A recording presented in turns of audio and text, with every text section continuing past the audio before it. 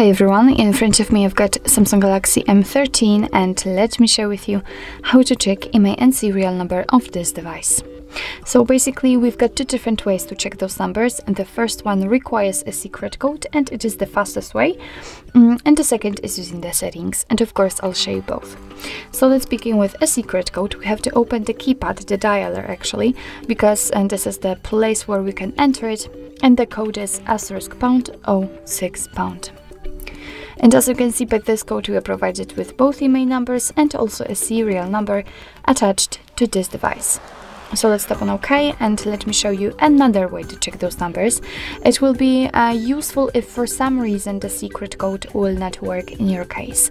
So you will uh, still be able to check it. So let's enter the settings. Here we have to scroll down to the very bottom and tap on About Phone. And uh, as you can see, we do not have to enter any uh, other options as the serial number and both IMEI numbers are listed right here. So actually this is it, this is how to check uh, IMEI and serial number in your Samsung Galaxy M13. Thank you so much for watching, I hope that this video was helpful and if it was, please hit the subscribe button and leave a thumbs up.